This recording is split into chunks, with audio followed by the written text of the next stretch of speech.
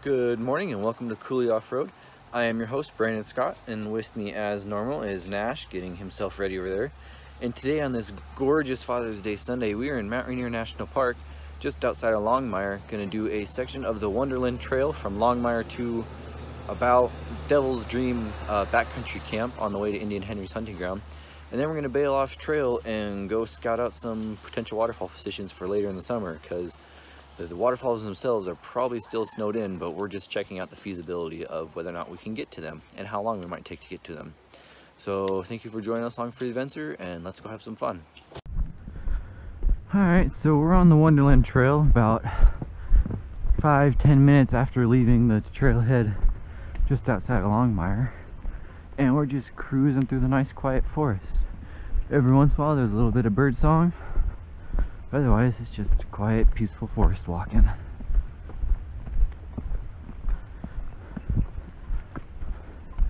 Eventually we'll have to go up and over those basalt cliffs up there, which is known as Rampart Ridge and the cliff specifically is known as the Ramparts. There's a low-ish spot up here that we'll have to go up and over.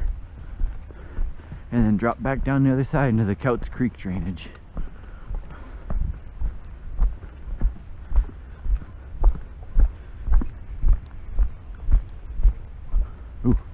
Got noticeably cooler dropping down into the swamp here. Mm -hmm.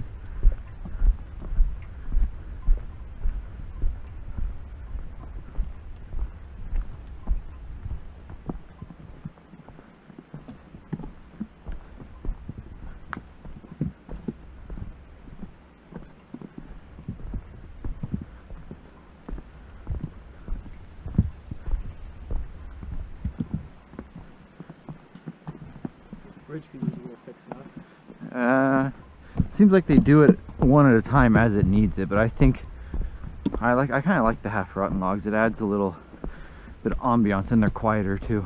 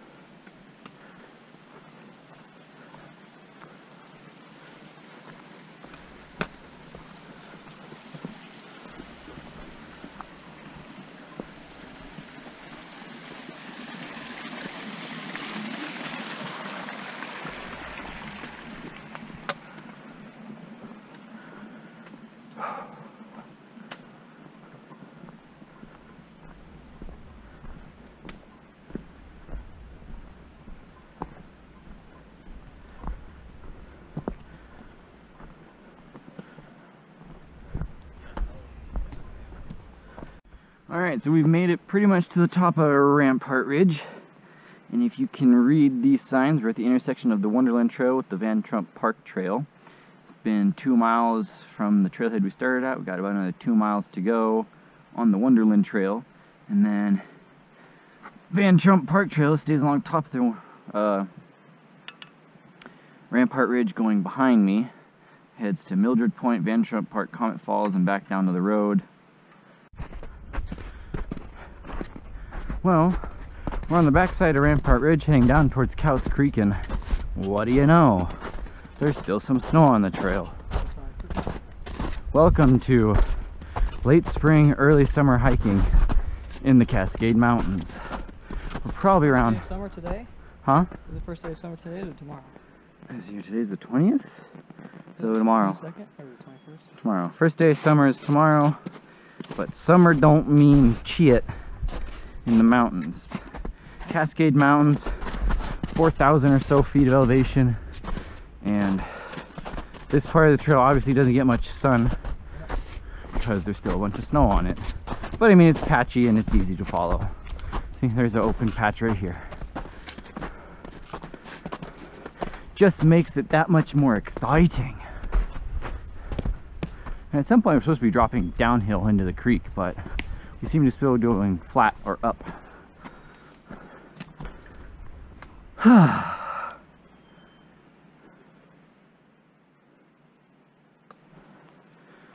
Pause a few seconds so you don't have to stare at Nash's butt the whole time. I'm right here. Alright, so we've made it down to Kautz Creek and we'll get a big reveal of the mountain here momentarily.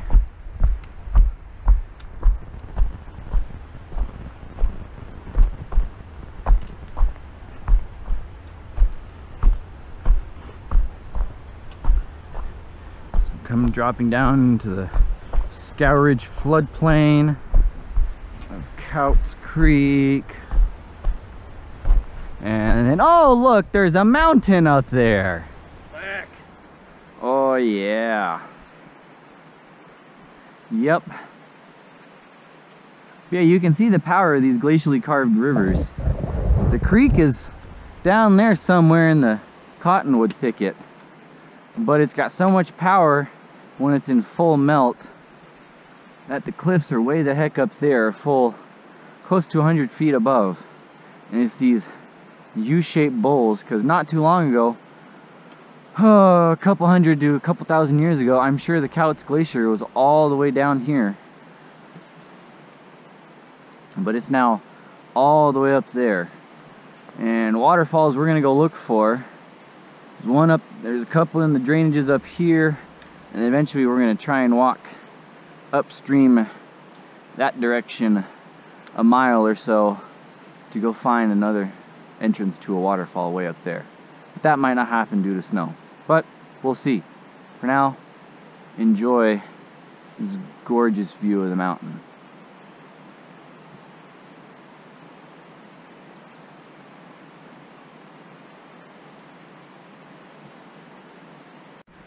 Alright, so we're on the other side of Kautz Creek now, coming out of the drainage on this side. And we're gonna have some birthday chocolates. It's not my birthday, it's not Nash's birthday, it's Father's Day, but we were supposed to share these chocolates when we were on top of Ross Dam for Nash's birthday a month ago. But of course, us in our infinite wisdom completely forgot about the chocolates. So now we're eating them now. And all of YouTube can learn about our silly mistake. Mmm. This episode of Coulee Outdoors brought to you by Ghirardelli Chocolates. Milk chocolate caramel. You gotta love it. Shamelessly stealing Nick's lines again. Oh, you just got it. I stole Nick's lines again. Will he be mad? I highly doubt it. Next thing you know, you're getting sued. Mm. I mean, he might get mad at me if I start doing Vinman's Bakery every video like he does. but until then, I highly doubt he'll care. He'll probably get a chuckle out of it, actually. Yeah, so we're taking a chocolate break.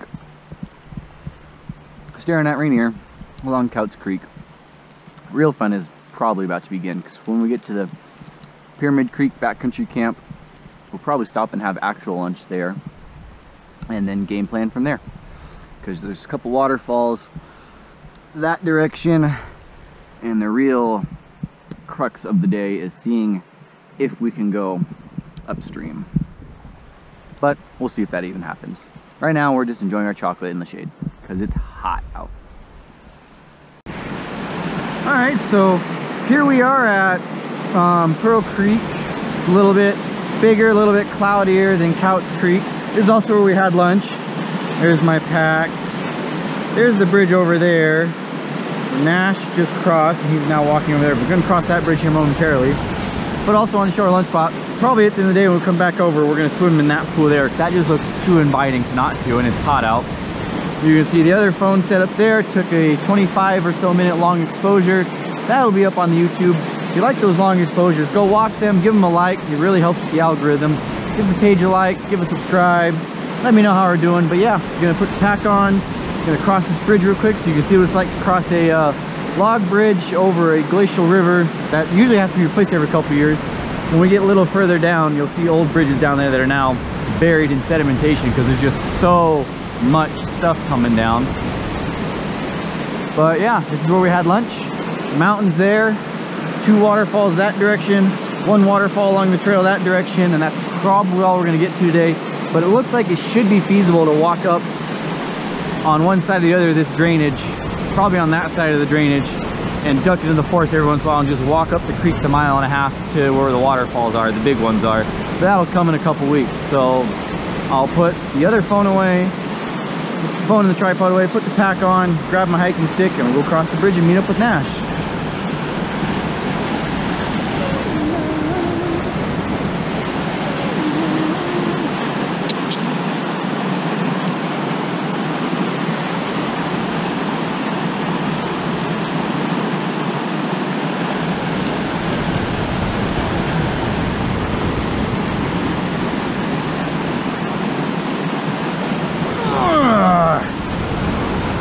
Lighter. I already eat my lunch and most of my water bottles. Most of one of my water bottles. But that's a beautiful pool. And yes, it's a fast, gla fast glacial fed river, but I'll talk about it more later when we actually go for some. But we will be safe. We'll have our shoes. No, we're not going to go in the middle of the froth and try to jump off the pool. We're just going to hop in there either on that side or that side and just get wet and cool off and dry off in the sun on our way back to Rex. Got the hiking stick. Both phones are in pocket. GoPro's there, chapstick is there, car keys are there, hiking sticks in my hands. All right, let's go across the bridge. A little different than when we were up at the Carbon a couple weeks ago. Obviously, the Carbon needed three or four much bigger log bridges to cross it because it's a full-size river instead of a creek. And it was 55 degrees and raining. Whereas today, it's a pleasant, if a little warm for this true Seattleite, a nice pleasant 70 degrees. 70-ish. Take a couple of pictures. Such pretty scenery. And let's go across this log bridge.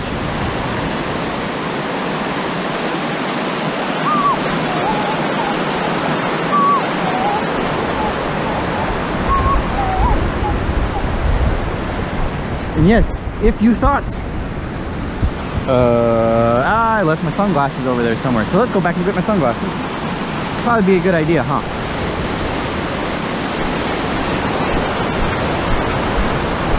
Oh, there's always something with me. You know, at least I remember them now and not two hours later somewhere along the trail somewhere and go, oh, I don't have my sunglasses. Durr. Now the trick is to find them.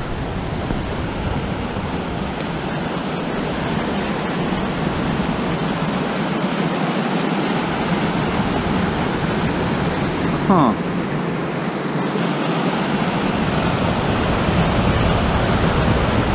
If I remember right, we first set our packs down over there.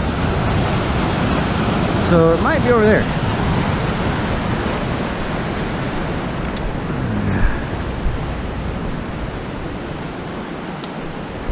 But like I was attempting to say, yep, there they are. I see them on the ground. But like I was saying, if you think that bridge looks pretty pretty fresh, that's because it is. That bridge was only put in by the trail crew two weeks ago, three weeks ago, somewhere around there. Because before it was down there. But when we go back past it, you'll see it's kind of buried now. So they had to put in a new one, which is this one. And this is an ongoing process. Every couple of years, these bridges only last couple of years at most. Sometimes they don't even last a full season. They have to replace one or more times in a season. Goodness gracious, look at that. Ain't that pretty? Huh. That's what me likes. That's what me likes a lot. But yeah, these bridges don't have a very long lifespan. Sometimes they'll last three years, sometimes they'll last five years, sometimes they'll last a month and a half. Like there is a bridge, a log bridge like that across the Nisqually River over at Cougar Rock Campground, just on the other side of the ridge line we went over from here. Uh, the Carter Falls Trail. Pretty easy mile and a half hike, one way. See a nice, a pretty nice waterfall. And that bridge has to be replaced each year because in the November rainy season, flood season, The Squally River comes through and just rips it out. And it's very common for these rivers and creeks to just completely destroy bridges. I mean, how is a little dinky log bridge going to survive against rivers that can do this scale of destruction year in and year out? But tis the sacrifices we make. So you can see there's two old bridges there. One has lost its railing, or one has probably had its railing stolen from it. The other one still has its railing there. That was the old, most recent one. And you can see it's pretty much completely underwater. So if you want, to you go across it now. You could, theoretically, probably for another year or two. You just have to put your toe shoes on there. Risk getting wet. Yeah, now we're gonna go up the trail a little ways before ducking off trail and we're gonna go find ourselves some waterfalls. Stay tuned, ladies and gents.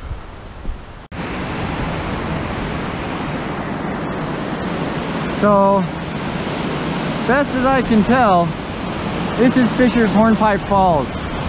We're off trail by a couple hundred feet and it's there and it goes down and it continues down and it goes down that way.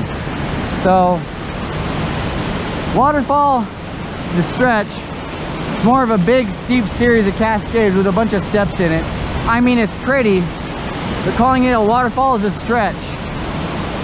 Now, this is one of the few waterfalls I have come out and found and looked at that I truly don't think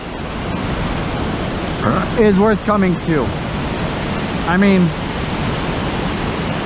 yeah, we could have stayed down at Pearl Creek and just hung out, but we wanted to come up here and put the extra effort to come up here. I don't think that was worth it seeing this. I mean, it's pretty, but I don't think it's worth it. Now, if you're walking along the Wonderland Trail and going up to Devil's Dream Camp, which is another mile or two up the trail, this would be a decent stopover, especially where the trail crosses the bridge up the creek and other a ways. But I think this is the falls. And on its own, I don't think it's worth to come to because we had to burn some butt doing some thigh masters for about a half a mile to get up here and then a pretty steep tricky traverse into this ravine off trail for uh, a couple hundred feet to see this. I don't think this is necessarily worth it just on its own. But if you're going along the stream you can see Nash doing something stupid. But if you're going along the trail anyway and you're passing this anyway yeah it's worth to drop your pack along the trail in the 20 to 30 minute detour to come check this out. Yeah, this is Fisher's, so this is Fisher's Hornpipe Falls. We'll be next up, we'll be heading back down to the bridge and we'll be walking downstream on the west side of the creek about a third of a mile to go try and find another fall before we go swimming. All right, update. I was way down there. It didn't look that impressive, but Nash came up here to get closer so I came over to him and yeah, this does look more impressive. That looks to be about a 12 or 15 foot drop. It's definitely more impressive. Then there's a secondary little drop there. I thought this was all just one little sloopy sloopy. And I'm pretty sure we're closer to the trail anyway. If we go straight up that way, we came from way over there, long traverse. If we go straight up that way, I bet we'll hit the trail in 80 feet because the trail's supposed to cross over on a bridge not too far up from here. So I'm updating my uh, assessment. Yeah, this is definitely worth coming to and hanging out at. A little bit hard to get to because there's some snow patches, but definitely worth, would worth be a snow break or a lunch break along your way up between Pyramid Camp and Devil's Dream Camp. Yeah, this is actually Fisher's Hornpipe Falls. I'm pretty sure of it now. And yeah, I'd say it's worth it. Nash is slinging snow. He's gonna go try and get on top of it. We'll see how it goes.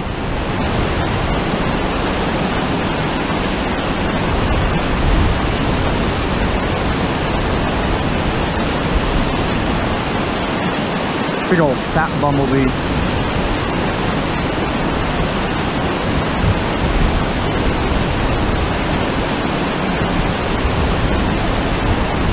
Now that my heart rate is calmed down and my thighs and calves aren't screaming at me, I enjoyed it. I'm enjoying this a lot more, but that initial traverse over after coming up the trail was a pain. So I didn't think it was initially worth it. Now, yeah, I'd say this is worth it. It's definitely a good to look at at. Still got two more waterfalls to look at, and it's almost one o'clock. Probably get back down to the bridge 115-ish or so. Hopefully go find those other two waterfalls and be back to swimming by two o'clock, which will give us plenty of time to hump it out. Yeah, is definitely worth it. There he is. You might not be able to pick him out too well. He's like there. Ish. Trying to get to the edge of the brink. We'll see if we'll see him. I think there's just gonna be too much vegetation in the way though.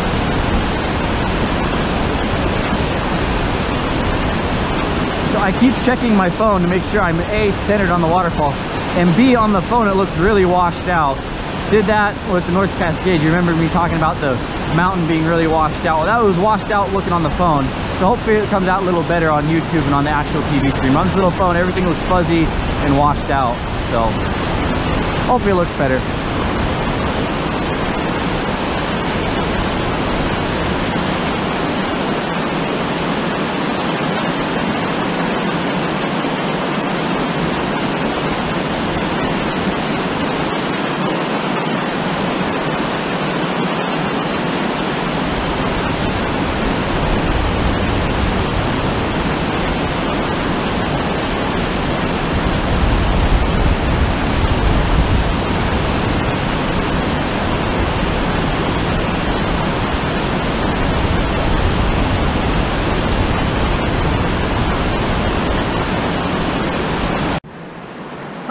so we're back down at Pearl Creek. Dumped our packs up there at the trail. We've walked down this floodplain about a quarter of a mile. Now we've run into Fisher's Hornpipe. We've got Fisher's Hornpipe Creek on one side, Pearl Creek on the other side. And I think I see some dropping water down there, which I think is gonna be Devil's Dream Creek, which is where we're headed. So there's supposed to be a couple waterfalls up that creek. So now, as we're cruising along through this, gotta find a way to cross Fisher's Hornpipe so I think those bits of falling water in there are Devil's Dream Creek, which is where we're wanting to end up. There should be a waterfall right, pretty much right there. So now we're on the hunt. And we did pack our toe shoes. So got them hanging out of my hip. So we will put, be able to put those on if need be. But looking for a spot to cross. Looks like we might be crossing right there underneath that down log and going that way. So if you are a novice off-trail exploration person, I advise you not to do this. But one of the many, many parent things my parents did taking me outside was for my birthday in November, we always go out to the ocean beaches. And the ocean beaches have jetties for every harbor. So have to Ooh, that's a that's tippy. Hmm, that's hmm. I want off this. Anyway, as I was saying, you go jetty walking, which is pretty much just big chunks of boulders like this. I've got lots of experience doing this. Still not fun. It's still exciting and stressful, but I at least know what I'm looking for. So, looks like. Think. So that's pearl. This is fisher's hornpipe. Methinks the best spot's gonna be like somewhere in here. Toe shoes and go up up there in the calmer spot? Yeah. All right we're gonna put our toe shoes on and cross. Hopefully the next video will be at the waterfall ladies and gentlemen. We successfully crossed the creek. Had to bushwhack a, I don't know, 50 or 60 feet because the Pearl Creek clipped us out. And when we popped out, look what we found.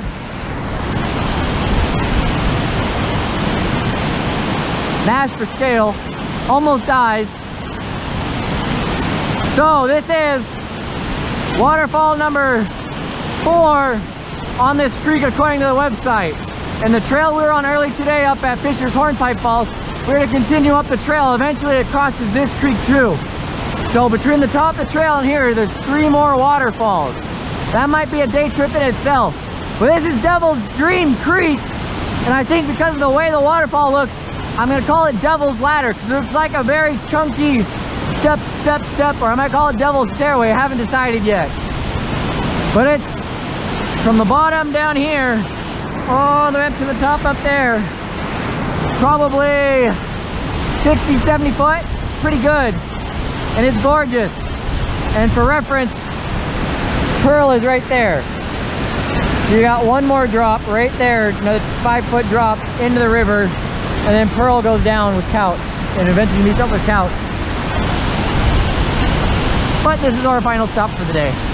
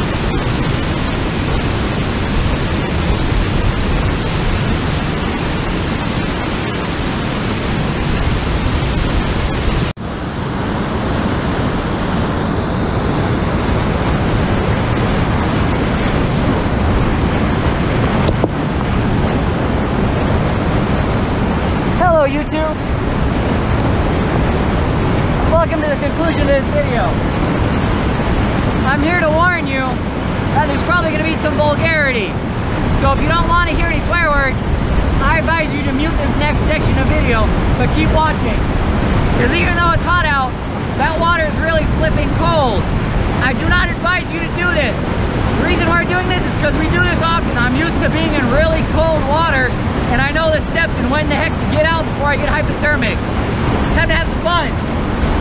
Where's that?